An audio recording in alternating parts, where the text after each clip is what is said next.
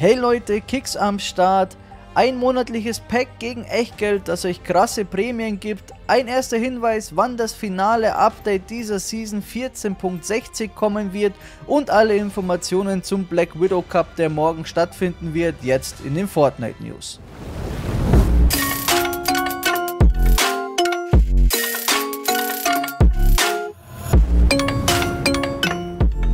Herzlich willkommen zu den Fortnite News.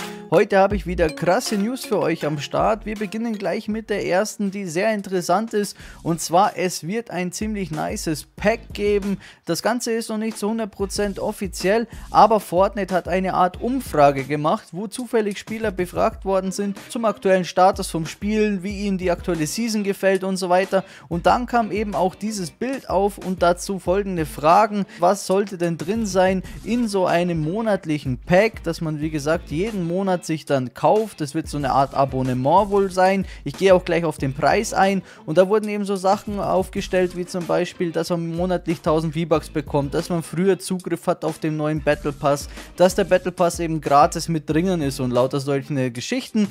Momentan sieht es eben danach aus, wenn wir dem Bild zu urteilen, dass man einmal gratis den Battle Pass bekommt, dass man ein monatliches Pack hat, wo man früher Zugriff hat auf einen bestimmten Skin. Das wird wohl eher im ersten Monat der Ghost Rider Skin sein, denn das vorige Bild wurde aktualisiert durch den Ghost Rider Skin.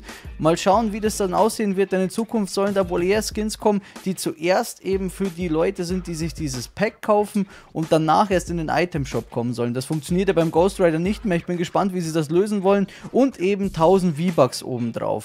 Jetzt fragt ihr natürlich, was kostet das Ganze? Hier ist es so, dass auch hier Fortnite oder Epic Games die Leute befragt hat, wie viel das Ganze kosten soll. Beziehungsweise wurden die Leute gefragt, wärst du bereit, einen bestimmten Betrag für diesen Pass monatlich zu zahlen? Und da werden immer wieder mehrere Fragen gestellt und der Preis wird immer höher. Also würden sie für 15,99 Dollar im Monat das kaufen? Würden sie für 19 Dollar im Monat das Ganze kaufen? Also wird das Ganze irgendwo im Bereich zwischen 10 und 20 Euro liegen. Ich vermute mal, dass es eher in die Richtung 15 bis 20 Euro geht, wenn ich mir anschaue, was da wirklich alles dabei ist.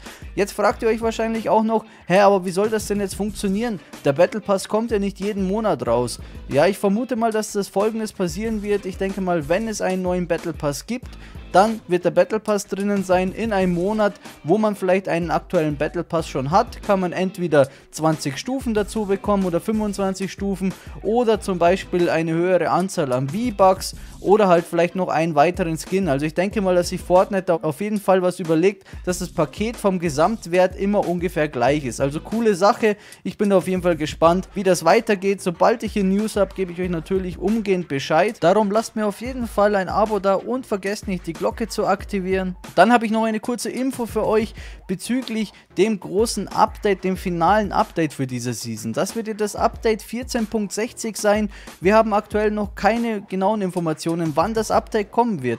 Aber wenn wir uns jetzt hier die Leaks anschauen von den Woche 3 Challenges für die EP-Rausch-Missionen, da haben wir zwei Missionen, die mit Placeholder betitelt worden sind. Das bedeutet, dass hier Fortnite noch keine Missionen drinnen hat. Und das ist immer die Schlussfolgerung daraus, dass es etwas ist, das es momentan noch nicht im Spiel gibt. Das heißt zum Beispiel, öffne irgendwelche Kisten in einem Ort, den es noch nicht gibt. Oder töte den Boss oder besorge dir die mystische Waffe, die es noch nicht im Game gibt. Das heißt, irgendwas ist momentan noch nicht im Spiel, was eben als Mission rauskommen wird und deswegen vermute ich, dass das Update am 18. November kommen wird, also entweder am Mittwoch oder am Donnerstag nächste Woche, eben damit dann spätestens dort die Missionen für die Woche 3 gemacht werden können. Natürlich gebe ich euch auch hier Bescheid, sobald ich etwas Neues weiß. Jetzt noch ein kurzer Hinweis, am Samstag, dem 14.11. findet wieder der nächste Kickstream Stream statt, wo wir gemeinsam Fortnite und Rocket League zocken. Ich freue mich schon auf euch. Um 17 Uhr geht es los. Ich habe natürlich wieder Giveaways am Start und ein paar witzige Challenges. Wird sicher ein ziemlich cooler Abend. Ich freue mich auf euch und jetzt kommen wir direkt zur nächsten News. Und zwar wird der Black Widow Cup, wie ich schon angekündigt habe, morgen stattfinden. Inzwischen ist jetzt der Skin bereits geleakt worden, also so sieht er aus, beziehungsweise offiziell vorgestellt worden vom Fortnite. Und wir schauen uns jetzt mal an, wann genau der Cup stattfindet und was ihr alles tun müsst, um den Skin zu gewinnen. Also der Cup findet um 18 Uhr statt in Europa. Diesmal wird es aber ein Duo-Turnier sein und kein Trio-Turnier, aber es ist wieder der Marvel Knockout Cup, den wir ja bereits kennen von dem Ghost Rider Turnier. Was hier auch noch interessant ist, ist, dass ihr natürlich wieder die zwei Faktoren Authentifizierung aktiviert haben müsst, sonst funktioniert das Ganze nicht. Falls ihr die noch nicht aktiviert habt, hier der Link zum Video, wie ihr das Ganze aktivieren könnt.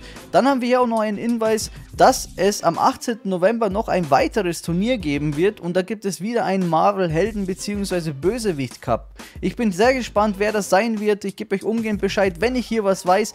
Ich hoffe ja, dass es Venom sein wird. Es wäre zumindest richtig, richtig heftig, wenn Venom ins Spiel kommen wird. Jetzt schauen wir uns auf jeden Fall nochmal kurz die Regeln an, beziehungsweise die wichtigsten Sachen. Also zum einen, wie viele Punkte bekommt man für was und wie lang dauert das Turnier und so weiter. Also das Turnier dauert wieder drei Stunden lang. Ihr habt zehn Matches Zeit und die Punkteverteilung ist genau wie beim Cup von Ghost Rider, weil das Ganze ja wieder wie ein Turnier immer aufgebaut ist. Und ihr bekommt ja für den ersten Platz 25 Punkte und dann halt immer weniger weniger Punkte, je nachdem welchen Platz euer Duo erreicht pro Spiel. Jetzt fragen wir uns natürlich, wer bekommt jetzt diesen Preis, also den Skin und den Backbling dazu. Das sind diesmal die besten 1200 Duos, also ist es nicht ganz so streng wie beim Ghost Rider Cup, da waren es nur die besten 800, aber eben Trios. Dadurch, dass es Duos sind, werden wahrscheinlich mehr Teams an dem ganzen Cup teilnehmen, was das Ganze wieder mindestens genauso schwitzig macht.